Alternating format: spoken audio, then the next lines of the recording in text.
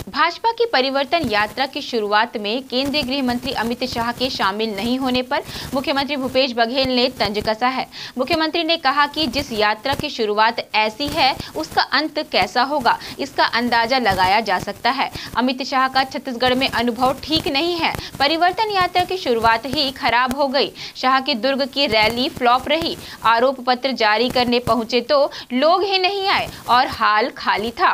अब बस्तर में भीड़ नहीं आने की सूचना मिलने पर दौरा ही रद्द कर दिए। इसकी शुरुआत का क्या हश्र हुआ सब देख रहे हैं। आज एक बड़ी सौगात दी आपने नवा रायपुर के लिए आज ऐतिहासिक दिन।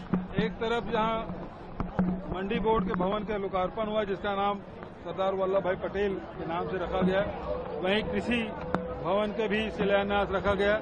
और आज व्यापारियों के लिए होलसेल मार्केट जो पूरे देश का सबसे बड़ा होगा लगभग 1100 एकड़ में मार्केट बनेगा और उसके साथ एरो सिटी और शहीद स्मारक का भी शिलान्यास हुआ है। तो आज बड़े काम हुए हैं और ये होलसेल मार्केट तो निश्चित रूप से मील का पत्थर साबित हो गया व्यापार व्यवसाय के लिए। वैसे हमारा जो रायपुर है, छत्तीसगढ़ है, वो उड़ीसा, आधा उड़ीसा का व्यापार तो यही से होता है। लेकिन ये जो मार्केट बनेगा और चूँकि ये रेलवे लाइन से भी नज़दीक है एयरपोर्ट से भी नज़दीक है और भारत माला परियोजना बन रहा है उसके भी ये करीब है।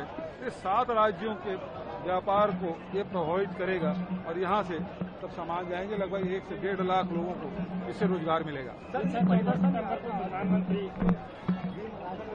गृह मंत्री का दौरा रद्द गया है। तो शुरुआत ही उनके जो परिवर्तन यात्रा ये जो निकाल रहे हैं उनकी शुरुआत ही परिवर्तन। खराब हो गया है ना? शुरुआत ही बेकार गया है तो उसके बारे में आप क्या दिखे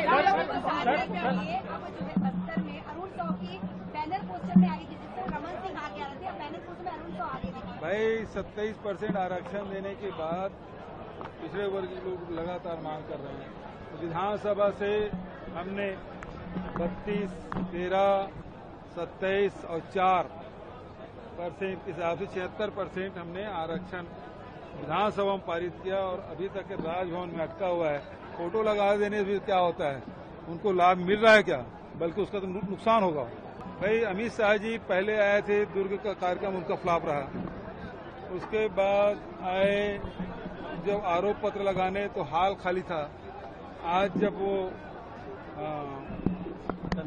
दंतेवाड़ा परिवर्तन यात्रा के लिए आए, उसको हरी झंडी दिखानी थी वहाँ पता चला कि भीड़ ही नहीं आ रही है। तो अपना दौरा ही स्थगित कर दिए तो अमित शाह जी का अनुभव छत्तीसगढ़ के लिए ठीक नहीं है।